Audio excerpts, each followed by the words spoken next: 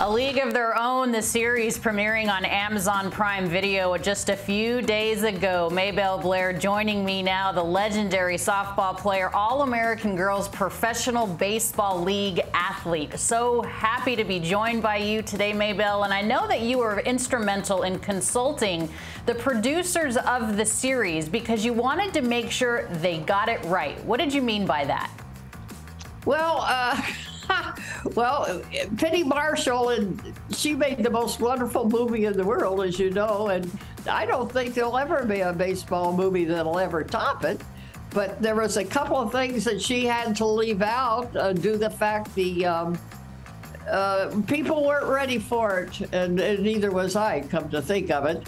Um, but now today is a different era as I'm learning as I'm getting older. Now that I'm 95, there's things that needed to be told that was really true in the movie, but we just couldn't do it in that era. And Maybelle, I think uh, we all know what you're talking about because you publicly came out as gay at the uh, at the premiere of the show earlier this year at 95 years young, and you wanted to make sure that they addressed the queer stories, the racial stories that they didn't address in the film back when it was first out. Why did that? Why was that so important for you? And congratulations, by the way, for being able to live that truth. Well, the truth is, is that I wanted everybody to realize that people uh, that are like me, which you kids call now queer, I call gay, um, that realize that we have a heart and we're a soul and we're a being and we love to live our lives and let us live our lives. Let everybody should be able to live their own life to be happy. Uh, and I thought, Maybelle, Will, and uh, Graham and um, Abbi Jacobson gave me this opportunity, and I really didn't realize what I was going to do. Um, as we were on the stage there in Tribeca, it dawned on me, I'm Maybelle, this should be told. Do something. You've been in the closet for 95 years, hiding. So I thought the door's a little ajar now, so I stole him. I told him I was gay. and I'm telling you, I felt the blood rush all the way clear to my toes. But I, you know what? I'm so happy because I've already heard from a lot of mothers telling me, thanking me because they knew they know their girls are gay and to have a little outlet for them. Well, I think that's a wonderful message that you were finally able to tell, and thank you for it. You've been so in instrumental, Maybelle, in making sure that women's softball and, and women in the sport of baseball continue to get recognized. You've time and time again attended MLB development programs like the Trailblazer Series, the Breakthrough Series. What do those things mean to you? Oh, it means so much, and I'm so proud of uh, Major League Baseball for supporting us and giving. You know, I don't care if they're uh, baseball players or softball players, but be able to follow your dream let them dream. If they want to play softball, that's wonderful because I used to be a professional uh, softball player and a baseball player. But let the girls that want to play baseball, which are thousands of them, would wants to play baseball. So give them a chance. And Major League Baseball has opened up that opportunity.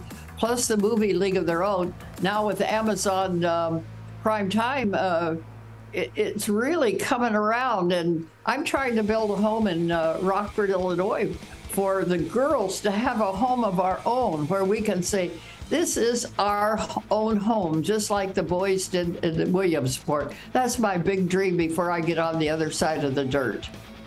And I know that you're really doing everything you can to make that happen. I know that you're doing a lot of fundraising efforts for that. How can we help? Have well just open up your pocketbook there in Major League Baseball and and give us money. Uh, I understand we're going to get a big donation, but I don't know when this will ever happen. But uh, we need more money. Uh, we're getting close. Major League Baseball helps us. We're going to get that dirt, the cert, dirt, pretty darn quick. And I don't want that shovel for me. I want it for the building. That's great. What a fun personality. I want to ask you what it means to you, Maybelle, when you see young girls uh, playing softball for the first time or continuing their career. I know that you have inspired, and that movie has inspired generations and scores of young girls and women being involved in the sport of baseball. I want to tell you a little story. In 2019, every single person on the Los Angeles Dodgers charter had to dress up. It wasn't just the rookies, and I chose to dress up as a character from A League of Their Own. Because if oh. it wasn't for that movie, I'm not certain how many of us would be involved in baseball. And it was such an inspiration. When you see a lot of young women doing this, how does that resonate with you? Oh my gosh, my heart almost jumps out of my skin. I am so thrilled because I want the girls to have a league of their own again. And I want them to have a home, just like the boys do in Williamsport.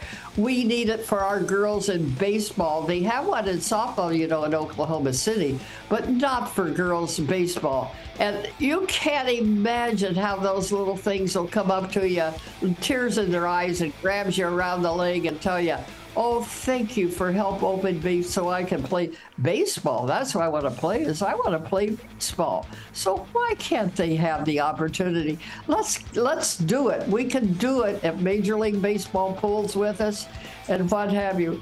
Thank you guys so much. And if you can help support us, we'll be so thrilled at International Women's Baseball Center. Uh, God, Olivia, and uh, I'll even come and dance in your next wedding even from my grave. Of course, a great athlete in your own right. 19 of 20 women, Maybelle, of the U.S. national women's baseball team have been involved in Major League Baseball programs. So, to your point, it's important for Major League Baseball to recognize the importance of women's baseball as well. Can you expand a little bit more on that? Oh, you better believe it. I'm telling you, I about died and came back to heaven when Kim, Kimmy got to be the first woman general manager. I just love that woman.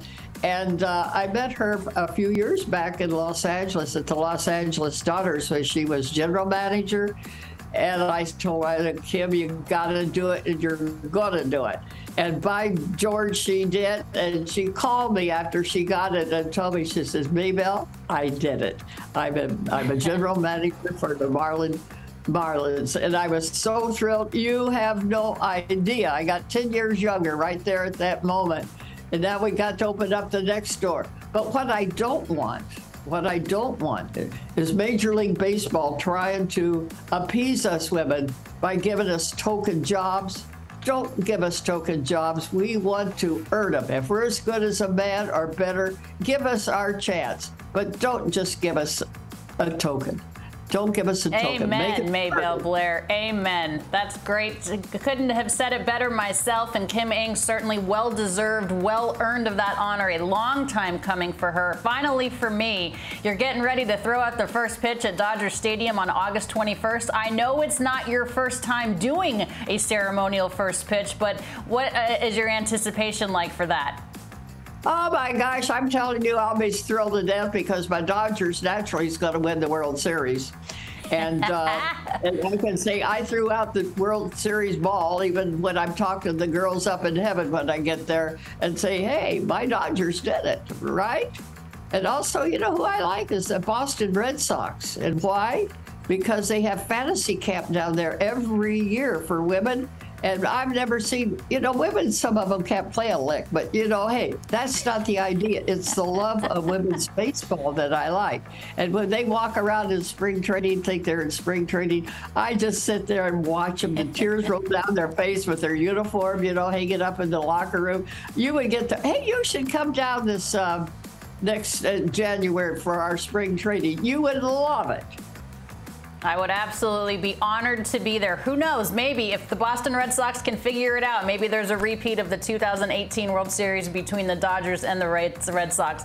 Maybelle Blair, you are a pleasure. You are a treasure. I am grateful to have the opportunity to talk with you. Thank you so much. Well, thank you so much. And so send in money.